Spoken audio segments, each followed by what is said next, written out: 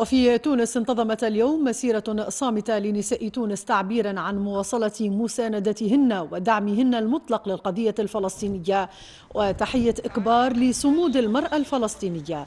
وقد تجمعت النساء من مختلف الفئات في ساحة حقوق الإنسان لتخرج وتصل أمام المسرح البلدي.